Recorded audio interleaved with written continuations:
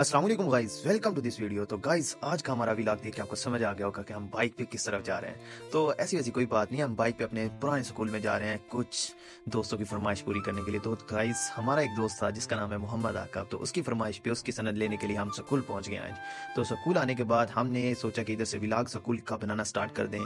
जब हम स्कूल में इंटर हो रहे थे तो आप देख सकते हैं कि कितना खूबसूरत, शानदार मंजर आपको दिखाई देगा। ये वो स्कूल है जिसमें हमने तकरीबन दस साल अपनी ज़िंदगी के बहुत ही कीमती दस साल यहाँ पे गुजारे हैं। और बहुत प्यारे प्यारे टीचर्स हमारे जिनसे हमने तालीम हासिल की है। इसके बाद गाई हमने स्कूल के अंदर बिल्डिंग में दाखिल हुए हैं हाई क्लासेस की तरफ़। तो यहाँ से भाई के साथ हम क्लास में अंदर की तरफ़ जाएँगे। और यहाँ से हम चलते हैं अंदर। तो देख सकते हैं गाइस के अंदर की जानब कितना खूबसूरत, शानदार माहौल बना हुआ है। हर तरफ़ दीवारों पर नक्शो निगार किए हुए हैं पैनर्स लगे हुए हैं। तलबा के लिए टीचर के लिए टीचरों की इज़्ज़त के लिए, और यहाँ पर फरमान्स भी लिखे हैं, इलम हासिल करने के। तो यहाँ से सामने गैलरी आपको नज़र आ रही है, जिसमें हम जा रहे हैं साइड्स पे रूम है क्लासेस हैं, और यहाँ से हम अपनी क्लास में जाएँगे, अपने उस से मिलने के लिए। तो इधर से हम अपनी क्लास में, अपने उस्ताद के पास जाएँगे। तो यहाँ पर मैं आपको अपने साथ प्यारे साथ का इंट्रोडक्शन करवाता चलूँ कि ये हैं हमारे साथ हाफिज कासम साहब, ये हमारे सर बायो केमिस्ट्री और बाजुकात इंग्लिश का लेक्चर भी देते हैं और इंतहाई शानदार ग्रामर इनकी। तो सर, आज ए टी पी यानी अडीनोसिन ट्राइफॉस्फेट का लेक्चर अपनी क्लास में दे रहे थे तो हम उस के पास आए तो उस से हमने गुजारिश की कि सर, आपकी वीडियो हम अपने लो व्लॉग में बनाना चाहते हैं। तो सर ने इनकार नहीं किया, बल्कि हाँ की और हमें बहुत ज़्यादा खुशी हुई, हम उस से बहुत ज़्यादा मुतमिन होया और उस की हमने वीडियो इधर से बनाई। इसके बाद पुरानी यादें हमारे जहनों में ताज़ा होगी कि किस तरह हम इस क्लास में इसी सर के पास बैठा करते थे और इसी तरह समझते थे। यकीन माने यार गाइस मेरी आँखों में पानी आ रहा था उस वक्त। जो आँसू थे, मैं आपको बता नहीं सकता था किस तरह मेरे लबो लेचा से वो आवाज़ें और वो दौर पैदा हो रहा था जब ये कुर्सी पर बैठे हुए, हम भी इसी सीट पर बैठे हुए सर का लेक्चर नोट करते थे। और कितनी खुशी होती थी।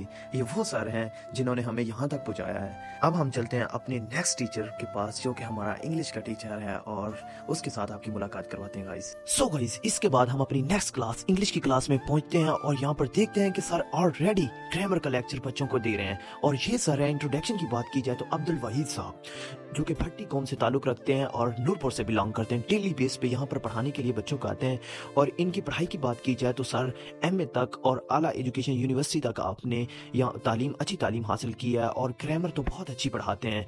और सर की अवेलेबिलिटी की बात की जाए तो ग्रामर में इतने और इंग्लिश में इतने लाइक साद हैं कि ये बच्चों को क्लास में बैठे हुए अपने लेक्चर में ही जो टॉपिक होता है वो समझा देते हैं और बच्चों के साथ इनका रिएक्शन इस तरह का होता है जैसे दो भाई या दो क्लोज दोस्तों का। तो गाइस जब मैं सर का इस तरह का लेक्चर देख रहा था तो मेरी आँखों में पांसू, आँसू आ गए थे, पांसू नहीं तो मेरी आँखों में आंसुओं को रोकना मुश्किल हो गया था क्योंकि मैं ये व्लॉग बना रहा था और मुझे कंट्रोल करना था इन चीज़ों पर।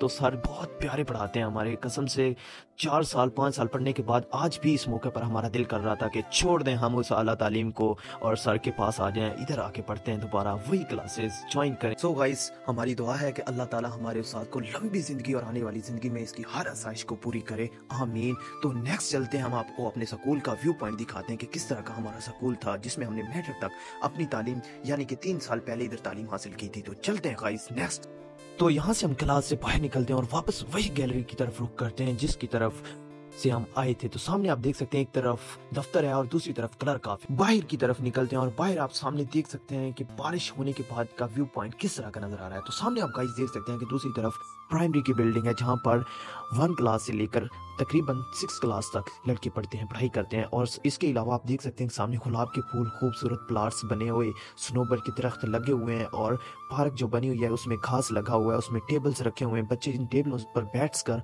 अपनी पर्सनल अपने अलहदा ग्रुप्स बनाकर पढ़ते हैं और आपस में इधर अपने लेक्चर के रिलेटेड बातें करते हैं। तो गाइस यहाँ से हम चलते हैं दूसरी तरफ़ और आपको दिखाते हैं उस जगह का माहौल। तो गाइस अब हम उस साइड की तरफ़ आ गए हैं, जहाँ पर हम रोज़ाना सुबह सुबह के वक्त असेंबली की जगह पर आते थे। तो गाइस सामने आप देख सकते हैं कि स्टेज बना हुआ है, जहाँ पर लड़के बच्चे आकर स्पीच करते हैं, दुआ करते हैं और यहाँ पर बच्चे इकट्ठे होते हैं और सुबह जिस तरह का असम्बली का माहौल होता है स्कूल्स कॉलेजों में आपको पता है, आप भी इन चीज़ों से बिल्कुल वाबस्ता होंगे या रह चुके होंगे। तो यहाँ से हम चलते हैं, आपको दिखाते हैं पूरे स्कूल का व्यू दिखाते हैं कि कितने खूबसूरत पौधे और कितनी दिलकश फ्लावर्स इसमें लगे हुए हैं। उस की भरपूर मेहनत हुई हुई है इसमें। तो ये वो जगह है जहाँ पर हमारे कुछ बहुत ही बेहतरीन स्टूडेंट इकट्ठे हुआ करते थे और यहाँ पर प्यारी प्यारी बातें किया करते थे। तो ये जगह यानी कि इसकी एक साइड की तरफ़ गाड़ियों की पार्किंग का निज़ाम बनाया हुआ है और दूसरी तरफ़ मुकम्मल ग्राउंड आप देख सकते हैं। यहाँ पर तुलबा असम्बली के वक्त बैठा करते थे और यहाँ से आप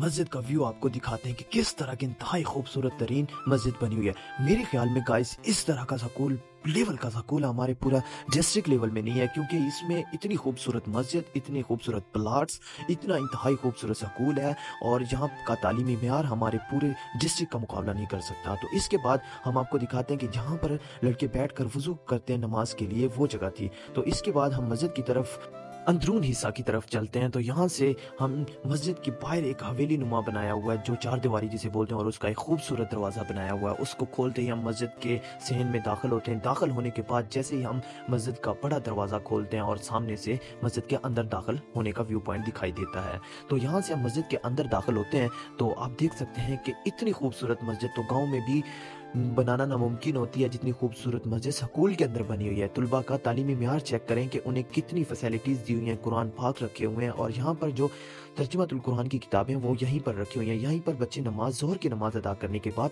तमाम तलबा मस्जिद में रखे हुए कुरान मजीद को उठाते हैं और अपने टाइम टेबल के मुताबिक कुरान मजीद की तलावत करते हैं। कुछ तलबा यहाँ पर बैठ कर अपनी तर्जमातुल्कुरान की क्लास लेते हैं, जो कि तालीमी निसाब के मुताबिक बनाई गई है, जहाँ से बच्चे अपने निसाब की तैयारी भी करते हैं और साल के अख्ताम पर तर्जमातुल्कुरान का पेपर अलहदा लिया जाता है, उसकी भी तैयारी करते हैं।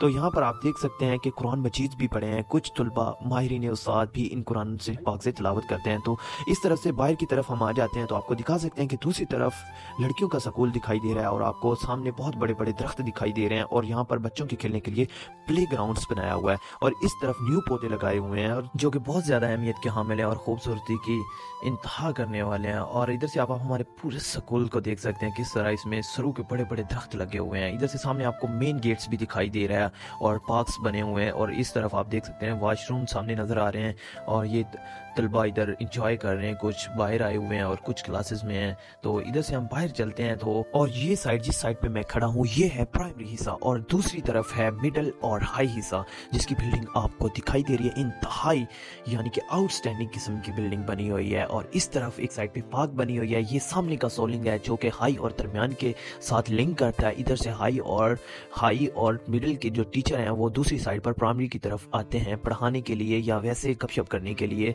दूसरे टीचरों के साथ। तो इधर से हम एक पार्क में इंटर हो रहे हैं और इस पार्क में आप देख सकते हैं खूबसूरत छोटी छोटी गलियाँ, इंतहाई अच्छे अंदाज से बनाई हुई हैं और साइड में पार्क्स बनी हुई हैं जहाँ पर बच्चे तफरी, यानी कि तफरी के वक्त ब्रेक के टाइम यहाँ पर बैठ कर गपशप करते हैं इंजॉय करते हैं टाइम तो गाइस इधर से आप देख सकते हैं कि दूसरी बिल्डिंग पर सामने पाकिस्तान का परचम लहरा रहा है, पाकिस्तान का फ्लैग है और ये पूरी हाई की बिल्डिंग आपको दिखाई दे रही है। यहाँ से हम बाहर की तरफ़ चलते हैं। तो गाइस मैं उम्मीद करता हूँ आपको हमारा ये विलाग बहुत अच्छा लगा होगा। तो उम्मीद करता हूँ कि आपको ये विलाग पसंद आया होगा और आप हमारे चैनल को पसंद करते होंगे। तो हमारे चैनल को सब्सक्राइब करना मत भूलना इंशाल्लाह मिलते हैं नेक्स्ट व्लॉग में। दुआओं में याद रखना। अल्लाह हाफिज़ गाइस